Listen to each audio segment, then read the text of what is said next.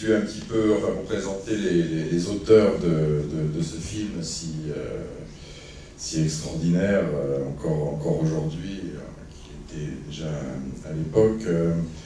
Daniele Cipli et Franco Malesco, donc les deux réalisateurs du, film. Euh, Malesco est de, 58, je crois, Cipri un peu plus jeune, de 62. Ils se sont rencontrés, dans les, donc tous les deux natifs de, Palerme, ils se sont rencontrés tous les deux à Palerme quand euh, Cipri euh, euh, faisait un peu de, photographie, photographiait les, mariages, je crois, et Malesco travaillait dans un vidéoclub. Et leur amitié est née très vite autour de deux passions communes qui étaient le, cinéma et, même la cinéphilie, c'était deux grands euh, cinéphiles, et le jazz. Euh, et puis, bah, ils se sont attelés très vite à un, projet euh, de, télé, d'abord avec une, télé locale, palermitaine, et de là est né Chine Cotivo, qui était, enfin, qui était cette, euh, série de, scénettes, de, de sketchs faits pour la télévision, et euh, dans lesquels on retrouve déjà euh, tous ces personnages hauts en couleur, folkloriques, et très pittoresques, qui sont des, gens qu'ils ont, connus, qu'ils ont rencontrés dans les quartiers populaires de, Palerme, en leur faisant faire des présentations, des déclarations euh, un peu décalées, dont on retrouve d'ailleurs beaucoup de, euh, qu'on retrouve beaucoup dans l'Otio di, Brooklyn, certains personnages qui viennent directement de, de Chinico Et puis ça, c'était donc c'était euh, autour de 86, je pense que ça, que ça a commencé à la,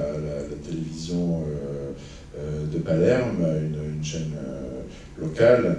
Et euh, c'est à partir de, 89, je crois, non, que, que la RAI la, télévision nationale, euh, les, a, conviés à, continuer ces, programmes à une, échelle euh, nationale, donc avec la, complicité, le, haut parrainage de Enrico comme, vous, l'avez dit.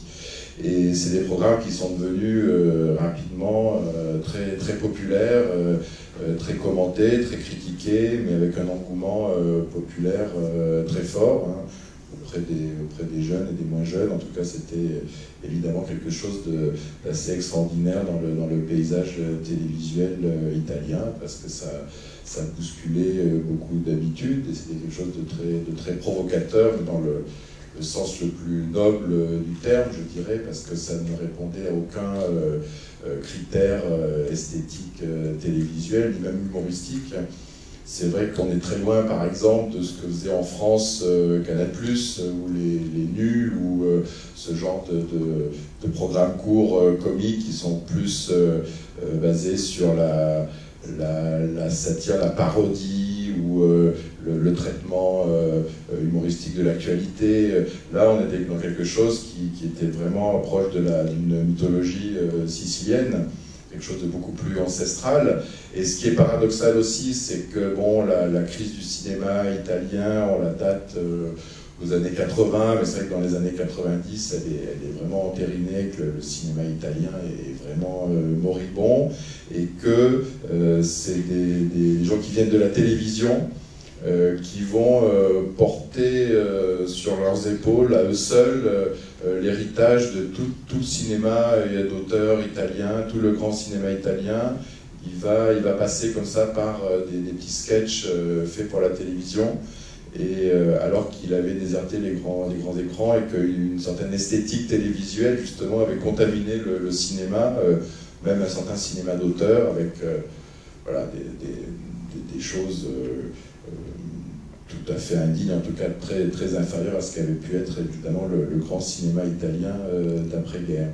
Donc c'est vrai que c'est à eux seuls, ils ont, euh, ils ont porté le, flambeau et, et, donc ce passage de la, de la télévision au cinéma avec l'Ozio di Brooklyn, euh, c'est évidemment beaucoup de... Ils s'en sont jamais cachés, ils ont, ils ont toujours assumé ça. Il y a beaucoup de choses qui viennent de, de Chinico à savoir les personnages, qui sont donc tous évidemment des noms professionnels euh, euh, qui viennent des quartiers de, Palerme. Euh, le personnage, bah, celui qui est en slip blanc pendant tout le, film, et qui, qui invective les, spectateurs ou qui, se lance dans des monologues. Ça, c'était déjà des choses qui avaient été. c'était un personnage récurrent de Chinico il y a aussi le, critique de cinéma qui, intervient comme ça au, plusieurs moments du, film pour tenter de d'expliquer ou de commenter le film avec la, voix off qui est cette voix omnipotente, comme ça, qui est celle de Maresco, je crois, euh, qui est celle du, réalisateur, qui, interroge ou qui demande au, personnage de répéter. Et ça, c'était un, gag euh, récurrent et très très apprécié de, de Chinico euh, il y a aussi le, sketch, le tout début avec le, les, les, pâtes et les patates, c'est quelque chose qui vient de, de Chinico aussi. Hein, y a aussi pratiquement impossible à comprendre, ça faisait sûrement rire les Italiens, mais le Pavigliani, qui est le très gros, le pétoman, euh, qui dit certamente, je n'arrive pas à le faire avec cet accent très distingué, euh, un peu anglais, c'était devenu culte en Italie en fait. Et là, là évidemment, le, décalage, c'est qu'il n'y a pas la question de Maresque, parce qu'en fait, il, dans Cinicotivou, il répond, Maresque posait des questions en voix off et il répondait presque tout le temps certamente. Et c'est devenu ben, culte. sauf qu'ici, il a enlevé la question. Et donc le rapport aussi au cinéma italien, l'histoire du cinéma italien, elle, passe par, plusieurs choses. Elle passe par le noir et blanc d'abord, euh, qui était évidemment très peu utilisé euh, dans les années 90, même euh, plus du tout, qui renvoie au, grand cinéma italien des années, des années 60. Le, rapport à la langue aussi, parce que c'est du dialecte palermitain. D'ailleurs, le film avait été sous-titré au moment de sa sortie et, de manière assez scandaleuse, je crois que la seule cassette vidéo qui existait était une cassette doublée en italien. Euh, la Film avait, avait, sorti ça, donc c'était euh, sans l'autorisation de, de Cipri Manesco. Et euh, y, a, on, pense, le premier grand cinéaste italien auquel on pense évidemment, c'est Pasolini. Euh, pour le noir et blanc et aussi pour l'utilisation du, dialecte. Donc Pasolini, il a fait des, films en dialecte du, du, frioul, euh, du dialecte romain aussi. Enfin, c'est vrai que le, traitement de la, banlieue de, Palerme ou des, euh, paysages désertiques entre ville et campagne de Palerme, Pasolini avait fait la même chose avec la banlieue romaine dans Acatone ou des, oiseaux petits et gros. Euh, dont on retrouve une, certaine euh, esthétique. Euh, Sauf qu'ici, peut-être, les, décors de banlieue, désert, rappellent plus, c'est là qu'ils sont un peu tordus dans leur cinéphilie, c'est ça rappelle plus une autre une passion très forte de J.P. qui est le cinéma américain. Je pense qu'il y a un côté cinéma de science-fiction américain, hein, de, justement de paysages apocalyptiques. Oui, il y, y, a plusieurs influences qui sont très fortes. Alors c'est vrai que la, la, plus évidente c'est Pasolini, mais c'est pas la c'est pas la seule. Elle n'est pas écrasante et euh, il n'y a pas la, la volonté euh, absolue de Cipri Maresco de faire du, grand art ou du cinéma d'auteur ou du cinéma de poésie, même comme, euh, comme Pasolini euh, l'appréhendait en tant que, avant tout, que poète et écrivain, et quelqu'un qui, justement, contrairement à eux, n'avait pas cette connaissance et cette cinéphilie. Euh, Cipri Maresco, ça passe évidemment par des chemins de traverse qui sont, qui sont liés à leur, à leur propre culture cinématographique. Alors, si on reste du côté du cinéma italien, il y a Pasolini, mais aussi il y a la comédie basse, euh, comme, comme, on l'a désigné, qui est donc la, comédie populaire euh, italienne euh, des années 60, avec évidemment des grands cinéastes comme Risi et Monicelli, mais aussi des, films beaucoup plus populaires, bas, avec des, des comiques assez vulgaires, et donc là tous les éléments de de, pétomanie ou de, ou de scatologie euh, viennent plutôt de, là, euh, ou euh, de cet art de la grimace et, de, la, de, la, monstruosité. D'ailleurs, ils ont, à la fin de leur carrière, consacré un documentaire à, Franco et Ciccio, qui sont des, comiques siciliens très populaires, très aimés du, peuple et des enfants, mais très, assez méprisés par la, par la critique intellectuelle. le, thème même de, de Cinico Tivu, donc euh, cette télé euh, cynique euh, renvoie au, cynisme de la comédie italienne des années 60-70, donc ce, regard extrêmement cruel, pessimiste sur ce que c'était que l'homme italien du, de l'après-guerre et du boom économique, avec des personnages souvent monstrueux moralement, dans les films de Risi, de Monicelli, que ça soit des personnages de petits bourgeois ou de, bourgeois ou même du, prolétariat, comme un film assez célèbre comme Affreux, et méchant de Ettore par exemple. sauf qu'ici, évidemment, cette monstruosité, elle est, elle est non seulement morale parfois, mais elle est aussi physique. Et, et c'est des personnages qui sont difformes, handicapés, avec, avec, des particularités physiques assez, euh, assez marqué. Et c'est vrai que ce qui fait aussi la différence de leur cinéma par rapport au cinéma italien euh, euh, néo-réaliste ou néo-néo-réaliste, avec une tradition comme ça, quasi documentaire, en tout cas ancrée dans une réalité italienne très forte, c'est leur passion du cinéma, une passion tout azimut. Qui va effectivement euh, du cinéma euh, de science-fiction américain, euh, des burlesques américains comme les Marx Brothers. c'est vrai que ces paysages urbains peuvent évoquer aussi des films de science-fiction comme, comme L'homme qui rétrécit ou comme La nuit des morts vivants, enfin voilà, des, films, des films classiques américains, c'est la, la, cinéphilie de, de Cipri et Maresco, les, les, les, burlesques, mais euh, ce, qui est, aussi euh, frappant, c'est ce sens du cadre, euh, de la mise en scène, la façon de, filmer, très frontale et surtout constituée presque essentiellement de, plans fixes. bon, d'une part, elle est déjà pas très télévisuelle, ils inventent quelque chose d'assez original par rapport à la, télévision, et cinématographiquement, elle a, quelque chose qui, euh, qui, qui, vient à la fois du, bon, évidemment d'un certain cinéma moderne. Hein, euh, on peut penser dans ces paysages urbains bon, à Pasolini, à Antonioni, euh, mais aussi du cinéma classique américain. Et le, cinéaste préféré de, de Maresco, c'est John Ford.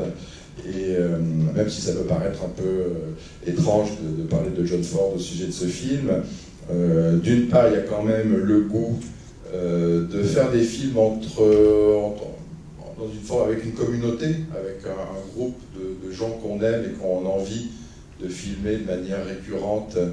Et, euh, ce, sens de la communauté est évidemment au cœur du cinéma de, Ford, hein, qui a réemployé euh, presque systématiquement les mêmes acteurs, surtout des acteurs de, second plan.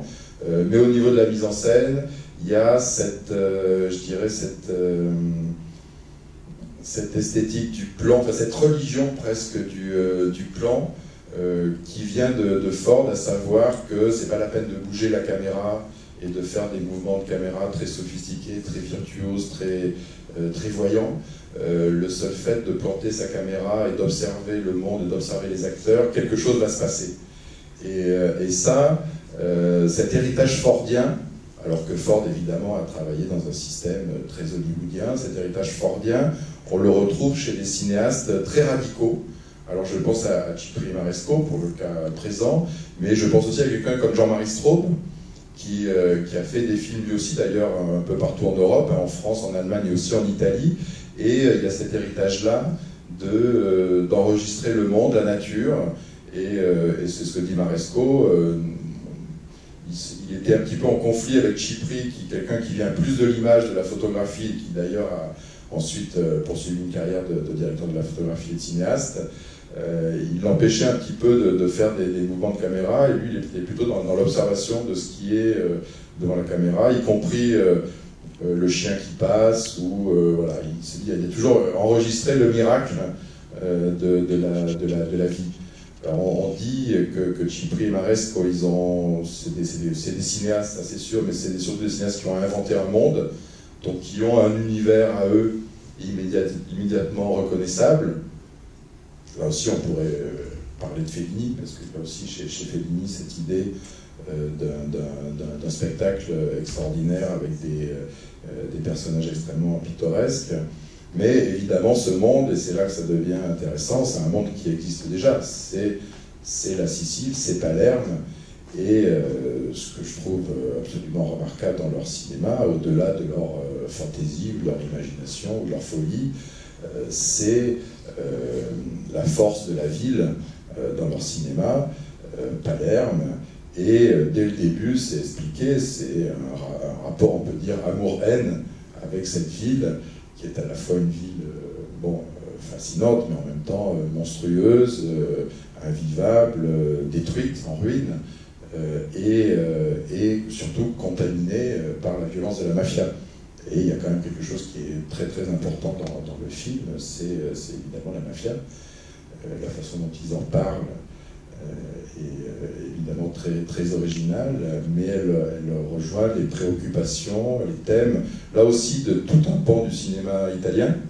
Euh, sicilien évidemment, mais c'est vrai qu'on pourrait inscrire l'oncle de Brooklyn dans une, généalogie comme ça, du cinéma italien qui, euh, dès les années 40, a consacré des, films importants à la mafia. Euh, soit du côté cinéma de genre, soit du côté cinéma d'auteur, soit du côté cinéma politique. Et eux, ils le font d'une manière euh, très originale en, montrant euh, l'importance de la, mafia dans la, ville et la façon dont elle a contaminé un petit peu les habitants de Palerme qui sont là dénoncés aussi dans une forme de, de, passivité, en tout cas de complicité passive avec la, avec la mafia. Euh, vous, connaissez Palerme beaucoup mieux que moi. Euh, je voudrais savoir un petit peu comment euh, leur approche de la ville est perçue à Palerme même et, et leur, leur, critique, en tout cas leur, la façon dont ils traitent la, la, mafia, qui est à la fois omniprésente et qui est aussi quand même un tabou, enfin qui reste quelque chose dont on ne parle pas euh, aussi facilement. Oui, il y a quelques années, euh, euh, je ne sais plus, c'était quelqu'un de la mairie avait dit publiquement que la mafia n'existait plus. Donc c'est le genre de choses qui fait enrager Malesque, évidemment. Mais le, rapport à la ville et à Palerme, bien sûr, ou peut-être plus généralement à la Sicile, même si c'est Palerme qu'on voit dans, dans leur film, il faudrait peut-être en enlever un malentendu. Le malentendu, c'est, on en parlait tout à l'heure, c'est. Euh, euh, voilà, je disais que cette semaine, plusieurs personnes m'ont dit euh, aller à Marseille, présenter Cipri Malesco, c'est pas un service à rendre à la Sicile, c'est encore. On véhicule une mauvaise image de la Sicile. Bon. je pense que vous allez peut-être en finir avec ce malentendu, parce que je ne pense pas que ce soit une image négative de la Sicile. Que, que a un rapport d'amour-haine, que Malesque a un rapport d'amour-haine avec Palerme, avec la Sicile, ça me semble la moindre des choses.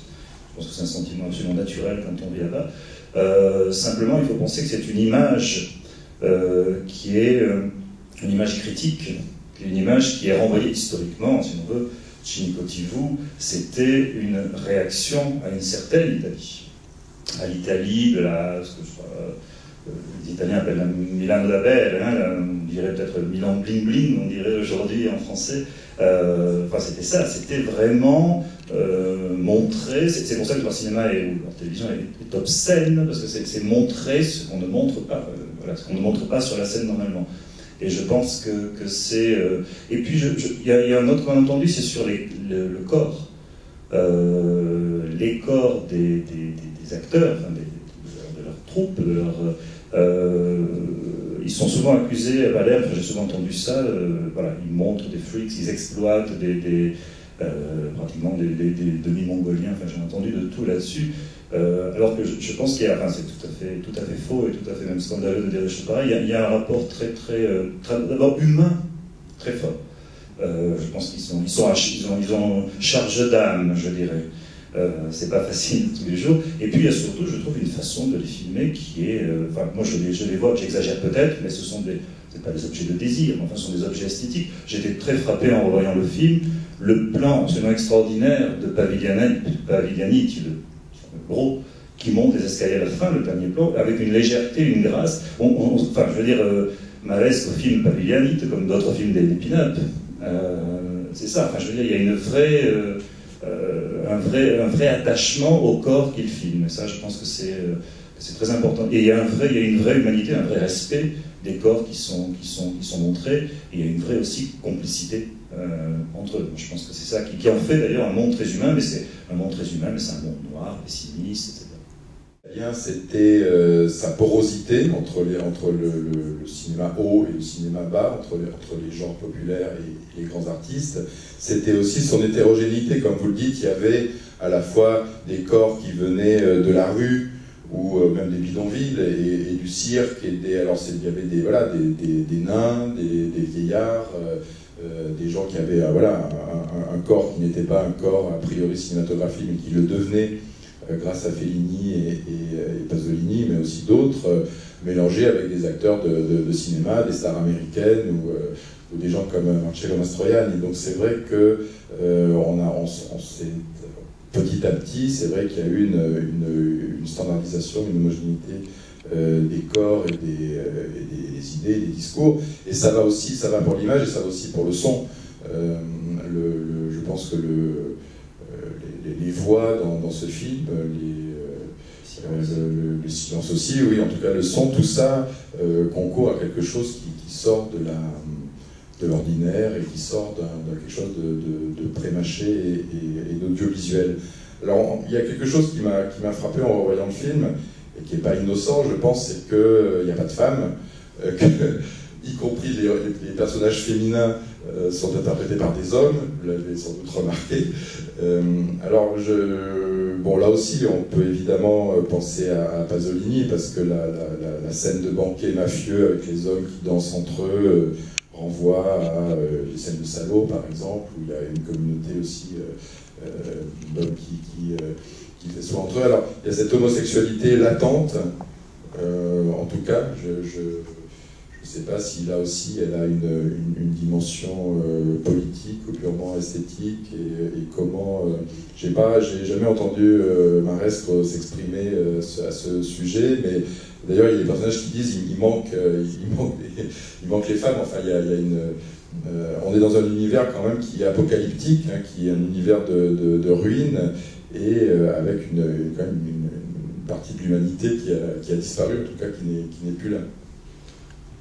C'est pas Palerme, ce n'est pas, pas le Palerme que je connais en tout cas. Moi non plus. Mais... oui, c'est ça.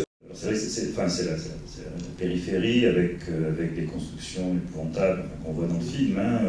Euh, il y a un plan par contre qui est tourné dans le, vieux Palerme, où, les ruines sont, là, c'est pas, pas spécialement la mafia, c'est les ruines de, la guerre, de la Seconde Guerre mondiale.